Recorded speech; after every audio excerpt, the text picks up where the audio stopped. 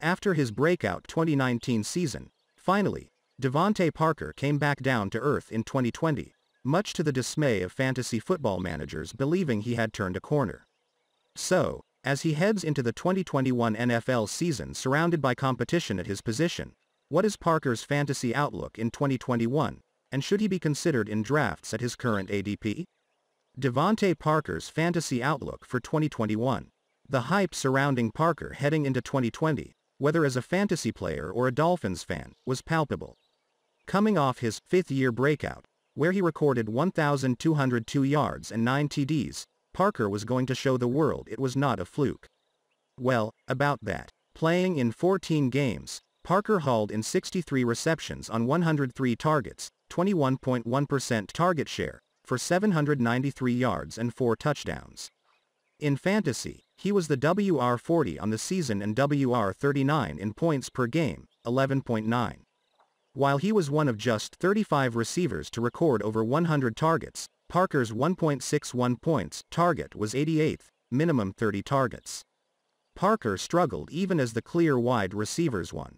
Even after Preston Williams went down in Week 8 for the second season in a row, Parker saw a minimum boost in performance, going from 6.1 targets, 4.5 receptions, 53.8 yards, and 0.38 TDs per game, 8 games, to 9 targets, 4.5 receptions, 60.3 yards, and 0.17 TDs in the six games without him. A significant component of this was his lack of success with Tua Tagovailoa. With Tua under center, he averaged 7.1 targets, 3.6 receptions, 43.1 yards, and 0.25 touchdowns. Meanwhile, in eight games with Ryan Fitzpatrick, he averaged 7.6 targets, 5.6 receptions, and 74.6 yards per game. That's a difference of 34 receptions and 535.5 yards over a 17-game pace. His continued inability to score did not change, which has plagued him, scoring over four touchdowns just once. It was not for lack of trying. Parker's 35.1% end zone target share not only led the team but was fourth highest amongst all NFL players in 2020. Can he bounce back in 2021 in an even more crowded offense?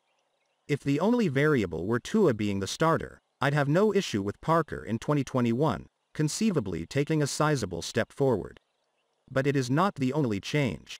Not only did the Dolphins sign Will Fuller in the offseason, but they drafted Tua's former teammate Jaylen Waddle. Parker is the big body on the outside in the Dolphins' offense. Waddle will operate over the middle, with Fuller the deeper threat most of the time. While these roles are fairly defined, this also means the target share will likely be evenly split. For Parker, this could be an issue. Waddle will be a YAC monster, and Fuller led all receivers with 2.52 fantasy points per target, minimum 50 targets. You feel confident in them for fantasy. As for Parker, the same cannot be said. What is his upside? It's likely he just saw his ceiling in end zone targets and did little with them. To make matters worse, I have gone this whole time without mentioning Mike Gesicki, who led the team in red zone targets, 14. For as talented as Parker might be, I don't see the upside in his fantasy outlook for 2021. DeVante Parker's fantasy projection. So long as Fuller can stay on the field, Parker is likely no longer the WR1 on the Dolphins. Given their approach in the offseason, it would anticipate a slight uptick in volume as well. In 2020, Miami's offense operated with a 58% pass rate, 19th in the NFL, and 37.1 dropbacks per game. While I am sure that Brian Flores will run a somewhat balanced offense, you have to do it off your QB's arm if you are going to win games.